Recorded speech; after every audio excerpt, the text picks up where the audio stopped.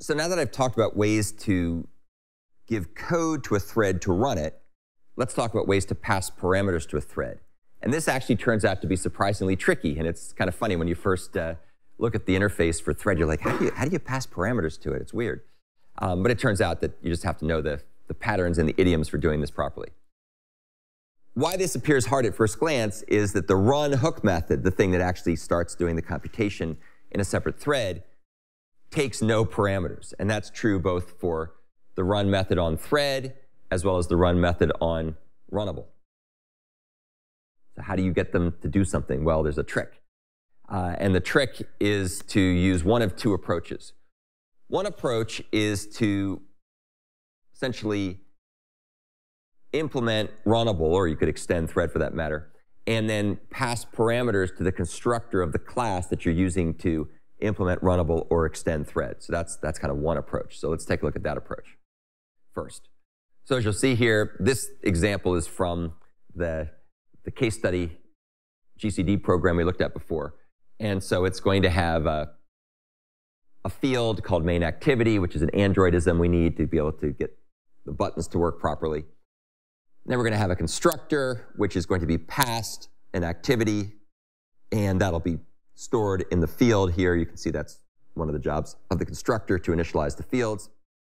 And then when the run hook method gets called, when we start the instance of the thread that's going to run the GCD runnable, when we do that, it can then access the main activity that was passed into the constructor. And in this particular case, you can see it, it does this to print diagnostic messages to the user, letting them know what's going on. So that's kind of one approach. Here's what the code looks like when you actually use it with this model. Here's the main activity. This is the Androidism thing. We have a method called run runnable. When I click that button on the GUI that says run runnable, I've connected it to this method. This method turns around and makes a new thread. That thread will run a new GCD runnable, which is associated with this activity. That's what this is in this context. And you can see that that's what's used up here. So that's how we pass the activity into the GCD runnable so that it can be accessed when the thread runs in the background. That's one way to do things. That's a very common way to do things. An alternative way to do this is to have some kind of setter method or methods in the class and then use those to explicitly set whatever parameters you want to have passed to the, to the computations that will be running in the background for the thread. In this particular case, this is a slightly different um, approach. This approach, unlike the previous approach where we extended random and implemented runnable, in this approach, we're going to just extend thread. So there is no separate runnable. This is that other alternative way of giving code to a thread. So in this case, we're going to have two fields in the GCD thread class, one of which is the activity, which we had before, and the other which is a random number generator. And then we're going to define a couple of setter methods, one called set activity, one called set random, and those take in activity and the random number generator respectively.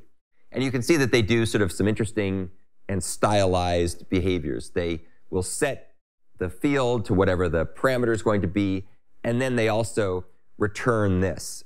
And by returning this, we can do something called fluent interfaces. And I'll show you how that works in a second. It's a very popular programming style. In fact, if you're if you're someone who've taken the uh, course on functional programming, you've seen this a lot because functional programming libraries do this very frequently, but, but object-oriented libraries do it now as well. So we can use this to chain methods together using the fluent interface pattern. And here's kind of what this is going to look like. Here's the run hook method for GCD thread.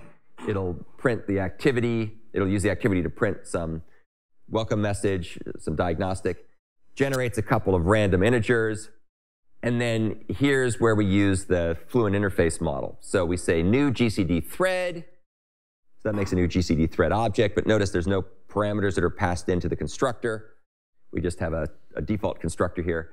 And then we say dot set activity. So the activity is set to this main activity. And if you look back here, you'll notice that set activity returns this. It returns the GCD thread. So then we can go ahead and chain that together with a call to set random on the same object, passing in the new random object. And that, of course, also is chaining by returning this.